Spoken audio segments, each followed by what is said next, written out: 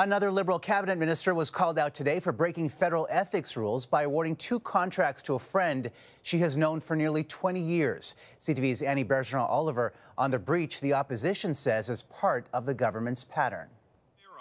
Will the minister resign? Hours after the ethics report was released, the international trade minister was grilled in the House of Commons. I have taken and I am taking full responsibility for my actions. I should have recused myself and I'm sincerely sorry for not having done so. At issue, two contracts for media training granted by the Trade Minister's office to the public relations firm Pomp and Circumstance. One in 2019 for $5,840, the other in 2020 for $16,950. The firm is owned by Amanda Alvaro, a former Liberal staffer who has helped Ng on the election campaign, and describes her as a, quote, dear friend. For the Conservatives, this is another Liberal vulnerability, and you can bet your bottom dollar it'll be an attack ad uh, clearly focused on Justin Trudeau and his team and ethical problems. In his ruling, the ethics commissioner highlighted the two had known each other for 20 years.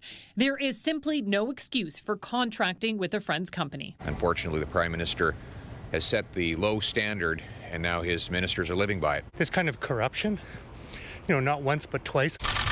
In addition to Ng, former Finance Minister Bill Morneau broke federal ethics laws three times during the We Charity scandal. That was a you were aggressive. In 2018, Intergovernmental Affairs Minister Dominic LeBlanc broke the rules too, approving a business license for a company where a family member worked. Prime Minister, what discipline will Ng face for The Prime Minister has violated ethics laws twice.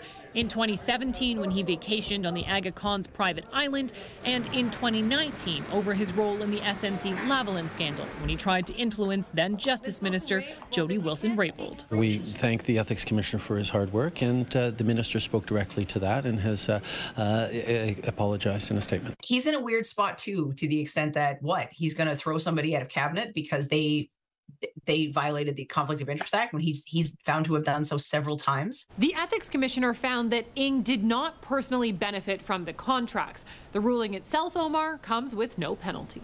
All right, Annie, thank you.